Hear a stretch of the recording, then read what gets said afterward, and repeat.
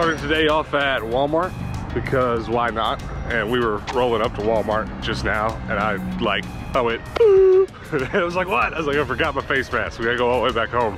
Luckily Hannah's smart and has like three in her purse, so all is good. Big brain. Trading card collecting card wall is just ripped, just devastated. Nothing, nothing here. I can't get it open.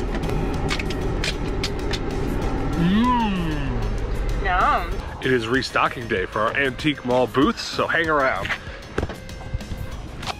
We got lots of IKEA bags full of toys, full of awesomeness to put in our antique malls.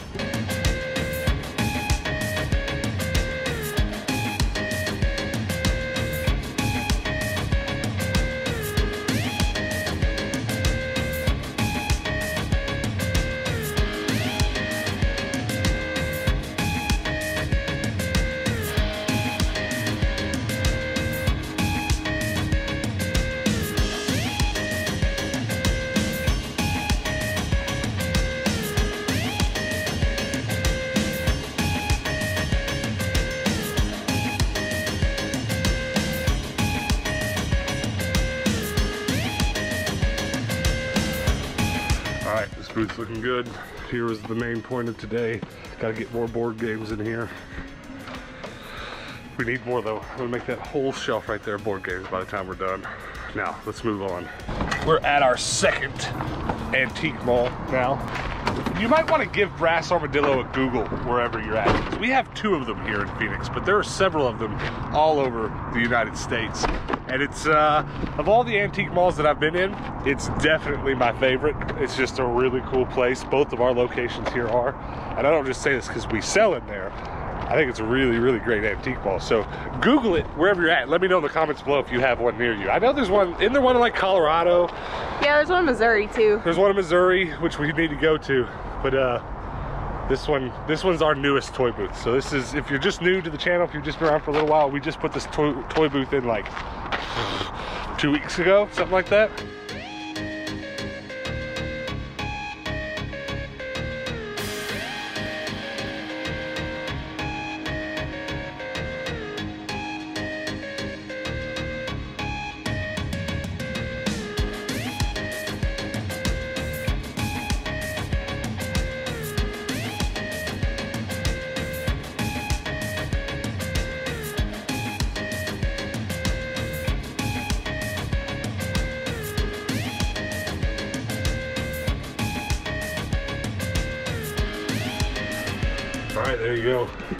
Number two, finally looking packed. About a month in or so. And for a few weeks, it was kind of like half full, but I think we're ready to go. I think it's good. Let's move on. Still got more to do.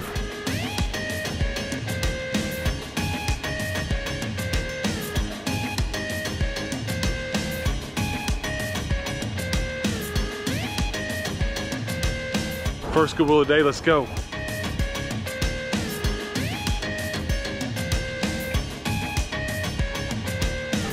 This Goodwill's not been good for video games lately, but look at all those toys over there. Check the games first, then we'll go over there and look. Pretty much they've been non-existent. Yeah, just nothing. A lot of nothing. There's some really cute planters here. Look at this little lion guy. It's really cute for like a kid's bedroom. Aww. She was here last time we were here a couple weeks ago. I have a couple of planters in my booth, but uh, my taste in planters is a little specific, so they sell, but they don't sell quickly. So I either need to uh, do some research on contemporary planters, or um, I just need to, you know, appreciate them from afar. I see Harry Potter.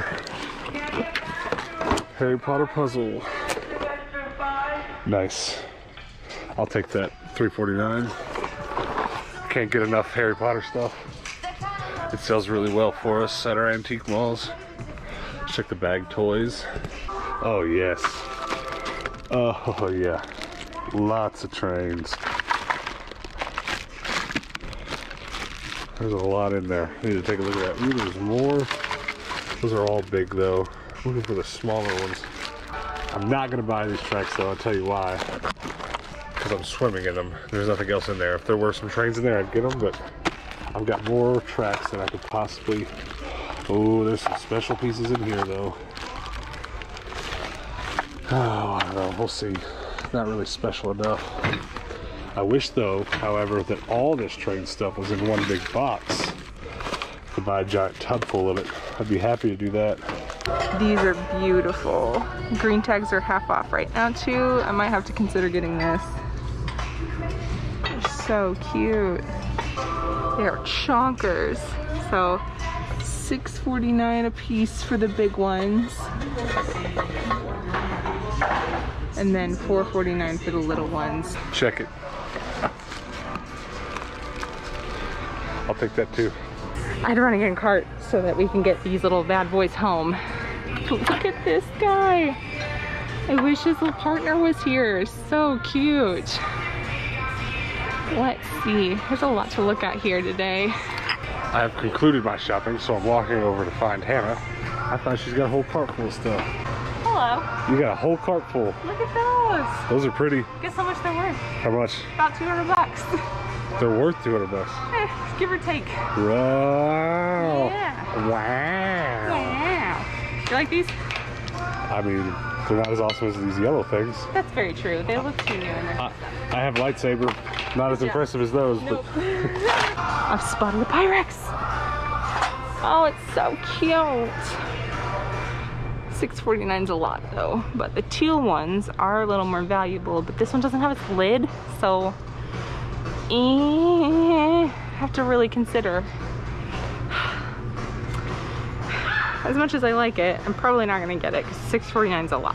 It's a little Corningware. Super dirty. Oh, it's a bummer this doesn't have its lid. I've sold all of the little jars that I've put in that look like that. Dang it, I really wish that this wasn't a water bowl. I actually have a really cute water bowl for pants and mochi. It's a Rae Dunn and it says slurp on the side. It's super cute. Um, but Mochi really needs a food bowl. And I'm trying to find her the perfect food bowl because Pants has a really cute one. It's like blue with orange on the inside and it's really sweet. But uh, Mochi really likes it. So I need to get her one so that she likes her food bowl just as much. So it's, it's probably just because she likes to steal Pants' food because he, she secretly wants to have it all. Hannah got flour and tea and salt and sugar jars, and I got a lightsaber. If that doesn't explain us, I don't know what does. That's really true. You want to fight? No! Try to lightsaber battle? Do you have another one? Nope. Which just means your head gets cut off. All right. Final antique mall stop of the day. I got a bag of toys. What do you got? A bag of clothes? Yeah. She got a bag of clothes. So let's get this antique mall done, and then we'll go to one more thrift store before we call it quits, all right? Don't go anywhere.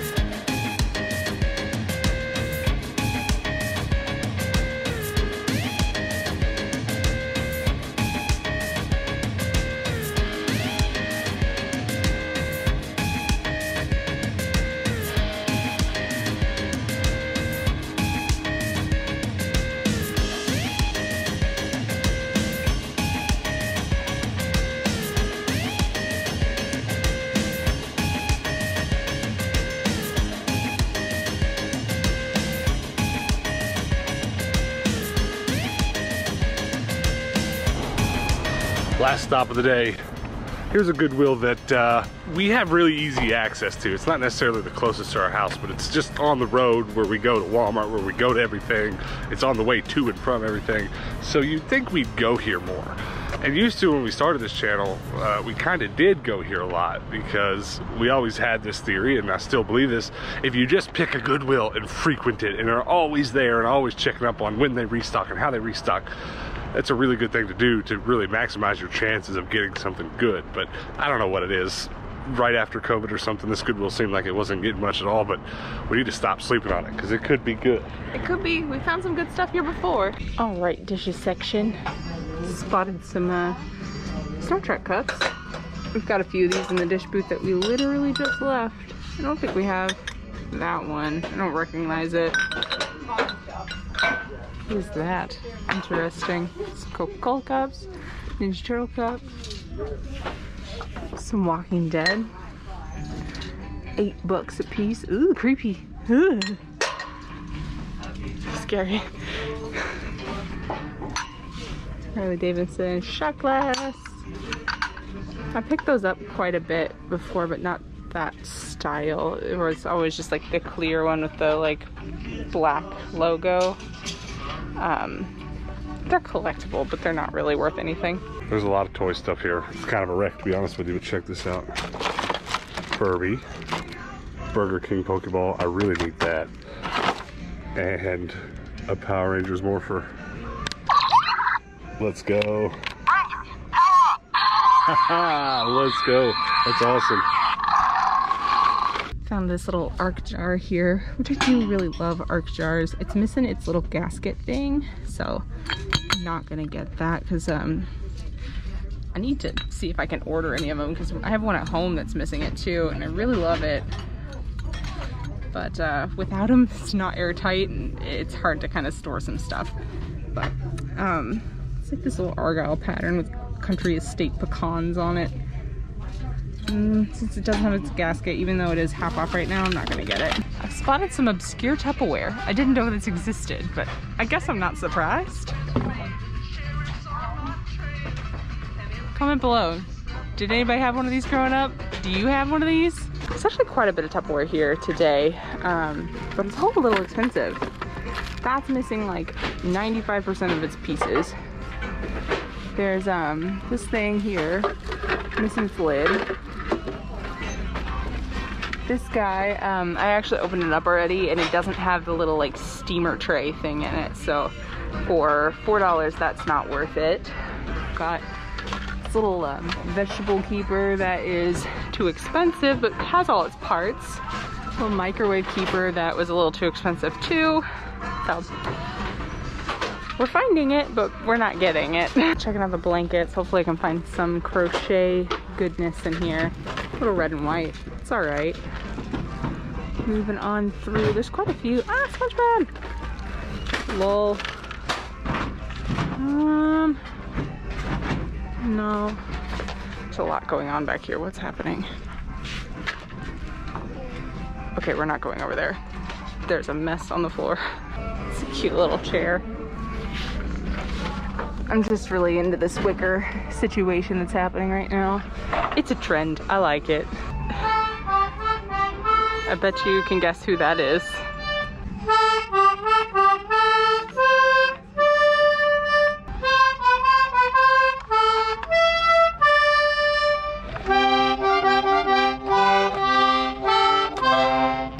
You're so talented. Do you know how to play the accordion?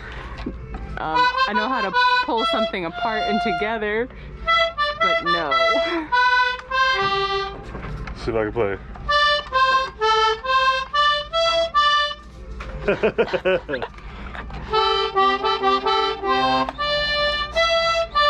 was busted. Aww. That's busted. All the employees right now are like, who's playing that?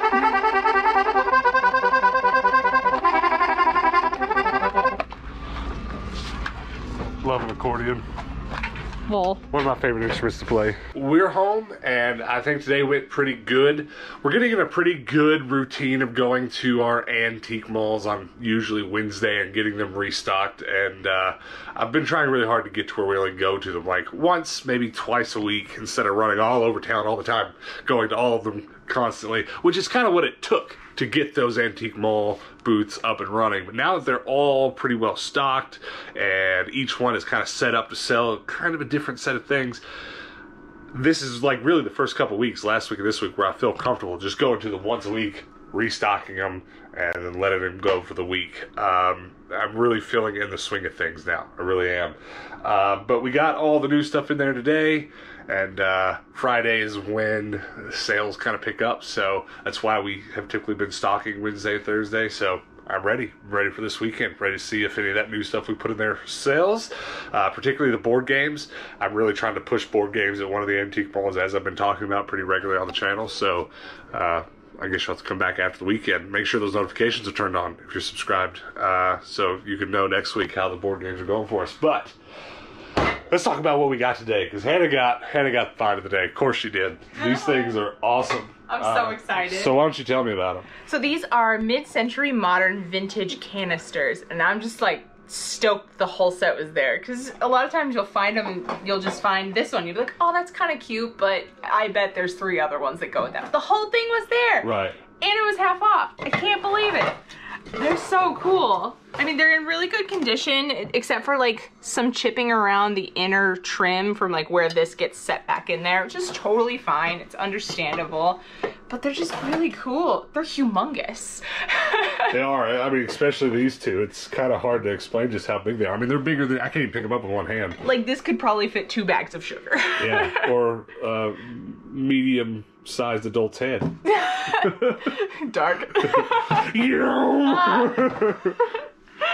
So that was the only thing I found today, but I am so excited. Like I don't even care that I didn't find anything else. This is perfect. Is That's that all you got? That's it. I didn't even notice. Yeah, I mean, the thing about these canisters is, and you might have noticed in Hannah's uh, dish booth, all the dishes we've been reselling, uh, she sold a lot of canister sets. Uh, if you have any way to resell dishes, I don't know that I would suggest you guys start running out to your Goodwills, just buying any and every uh, canister set you see. But if you have any antique malls or do anything kind of like that, like we do, this is perfect for those. I don't think I'd want to ship those for nothing. No. It's honestly like yes, I could sell them on eBay, but like what even box would I put this in? How do I risk Yeah, sending that and not breaking it? those are just not worth the risk. They're just not. They're, I mean, they're, I, I could give you some good tips on how to pack it and hope they get there, but not worth the risk. So we probably wouldn't have bought those if it wasn't for our antique malls. And I, I we don't we we've talked about how much to sell them for. You can kind of see some comparable listings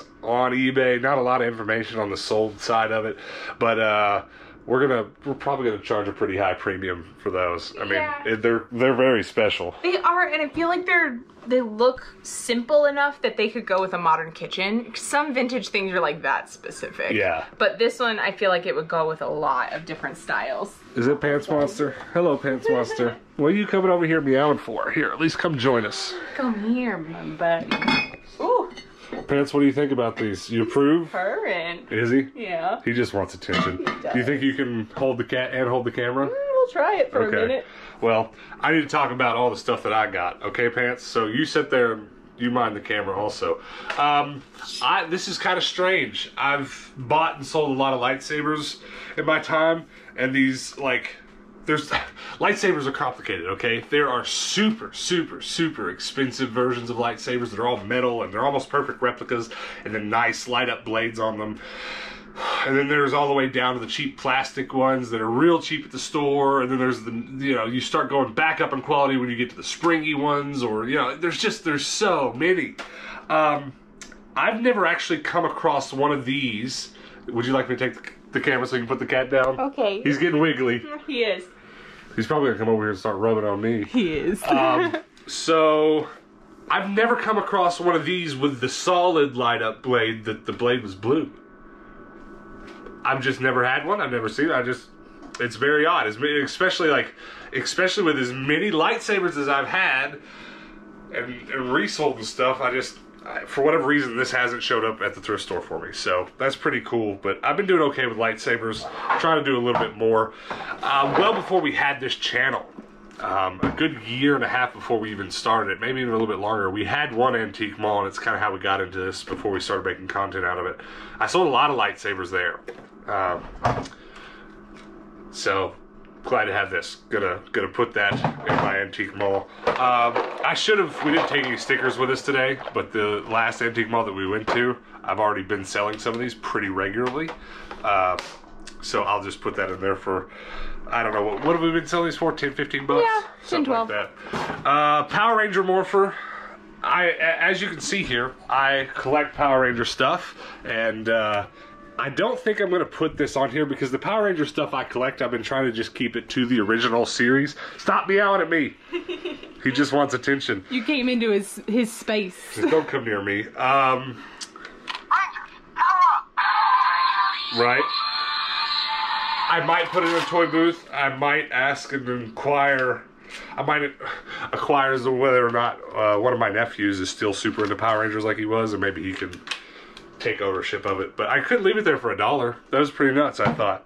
Uh, one of the next cool things, there's two things in this bag. One is a Furby, so come on over here. Let's make sure he doesn't match any of my other Furbies. It does not appear that he does. Very close, but not quite. Uh, yeah, he's just. I think that's actually a completely different generation one. But we'll put him on the Furby shelf. Hello. The Power Ranger thing's still making noise. Come over here. We're gonna do one more thing. Uh. Ooh, there's. Oh. I swear I didn't think there's anything in there. Okay, are you ready? What's in it? It feels like it might be one of these spinners. Oh, it's a keychain. Sweet. So we've got a couple more of these. Do we have the Kangas Kangaroo yet? Uh, no, we don't. So that's pretty awesome. I had it when I was growing up. That's why I'm like, I remember that one. Well, the reason I wanted to get one of these, because if I recall correctly, the plushies came in them, right? These little guys. Ah, I think so. I'm pretty sure that's what came in originally. Um, but here's the thing. We did. I'll be honest with you. We didn't do anything for Halloween like we planned on. Uh, like doing some dressing up. We. It's such a good time to make some cool content. But every year, uh, we've had this channel through two Halloweens now. And it kind of rolls around. And last year we did something special. But this year we didn't. But I keep joking. I want to make a Ash Ketchum costume, but not necessarily like a super cool, awesome one, but like a remake of the one I wore as a childhood. As in my childhood, I uh, actually used to run around with a red and white trucker hat with a sharpie marker, the symbol draw, drawn in, right, and just the blue shirt and jeans, my Pokedex, gloves that I cut the fingers off of, and then I always had and, uh, this Pokedex right here in my pocket wherever I went, and then this clipped my belt. And I thought it'd be funny to remake that, and I want to. So maybe next Halloween I'll do that. But all I, but the the one thing that would stop me from going out today and creating it, I could literally go thrift all that stuff right now, or heck, take some of it out of my closet. But I didn't have this Pokeball, and they're actually surprisingly difficult to get. Like the toy stores here in town for just a, you know, the plushie. Here's a couple more of them. You know, for the plushie and the ball. I mean, 15, 20 bucks sometimes I've seen them say, and I just didn't want to pay that for them. I knew if I waited, they'd show up, um, and they have. So we will go ahead and put this on the Pokemon shelf. Very happy to finally have one, uh, and the fact that that keychain was in there is a double whammy. So let's talk about the last thing that I got, which is just a bag full of train stuff. This was barely worth it. Five bucks I paid for this bag, and honestly, this is kind of old and broken, and I don't know if I can make it work right. Maybe, maybe I could sell that. Um, this is cool, but it doesn't really fit with the rest of the stuff that I resell Thomas Wise, and it's kind of broken. Um, I kind of thought what I've been doing with the very few Thomas and Friends trains that I keep, I think I've been trying to kind of keep just black and blue stuff that's pretty cool. So like I've got this pretty neat shark in this little car, and then here's his coal, which I guess is supposed to go behind the main train, right? And then I kind of figured maybe this one would be a nice addition, but it kind of looks goofy and oversized, doesn't it? You need like a tiny little animal, like an elephant. Oh yeah, well, let's just throw another shark in there or something. That'd be kind of funny. Uh, or here you go, we can keep Diddy Kong Prison. There you go. And this is why it's my train set because sky's the limit on those. Um, maybe I'll keep that one in my collection. But here's the other thing that I was really eyeballing. So it's a little bit difficult to figure out. Okay. But there are two generations of these electric trains. These are electric, they're battery powered, the batteries are dead in it. But you flip a switch. Oh, maybe they're not. Oh, the okay, these are connected. Let's see if it moves. I'm quite curious if it moves. Well, it's supposed to move on its own. Maybe it's broken. I'll have to see. But um, the thing about these is you start looking up these electric Thomas and Friends toys, and there's a couple generations of them in the old. And now listen, hold up a second because I'm talking massive, exp- uh, a massive expanse of generations. So there's old die-cast ones that are highly collectible to people. So I don't sell as much as those as I sell the middle generation wooden ones because at our antique malls they're just easy to find and sell there. These electric ones, however, sometimes these go on eBay for a good amount. So you might want to start checking your bag full of toys at your Goodwills looking for stuff like this that's clearly Thomas the Tank. It's a little bit larger than the wooden stuff. So this is not Thomas branded, but it, you know, if you find a Thomas the Tank that's wooden, it's going to be this size. So you can see it's it's it's considerably larger than that. And um, I've been finding that some of this electric stuff from the earlier generation, so specifically looks like this, it's this size, this form factor. Some of these pieces can be upwards of 20 to 40 bucks, and it's pretty neat. So uh, I'm gonna see if I can get this working, and I'll look it up and see if it's worth a little more. Maybe we'll sell it on eBay, but probably not, because this stuff has been going so well in our antique malls. I think that's all we got, though. I've been really happy with the Harry Potter stuff that we've been finding. When I first said, "Oh, I want to put Harry Potter stuff in this booth," I didn't think it would turn up very quick. But it seems like every day or every week for the last few weeks, I've bought two or three board games or puzzles. You guys comment below. Let us know what your favorite thing we brought home today was. I think we're just gonna have to go ahead and agree, Hannah. What is it? My vintage canisters. Oh yeah, those are just beautiful. I, you know, sometimes we bring stuff home and like, oh, that's gonna be fun to play with. Oh, we'll just be excited to put that in a booth. But sometimes we bring stuff home and we're like dollar signs, and that's just. It's it is so hard to explain, right? Because like some of the stuff I brought home yesterday, I can show you on eBay, right? Like here's how much we value this because here's what you have to pay for it on eBay, or here's what it has sold for on eBay. This isn't one of those things. This is just if you deal in antiques and dishes like we do, and some of you are going to understand this, there are just things that come up that are just individually special. There's no doubt that a mom or grandmother or, or, or a guy trying to create his dream kitchen or uh, is gonna need what do you call them? The mid-century modern No, no, not the not the era, but like they're just canisters. canisters, just just ingredient canisters. There's got to be a better name. Let's Probably is. just uh, kitchen canisters, right? Because like my grandmother has some. You have some right now. What are you using for yours? I use arc jars, which I actually found one at the thrift today. So um, they're just they're this size. Honestly, I would keep these for my kitchen. If your kitchen wasn't like this. yeah, I got a tiny kitchen, but I love those arc jars, so I don't think Yeah. I'd be able to give those up. Yeah, well, I mean, look at home and garden magazines. You'll see lots of people use creative things for their own kitchen canisters.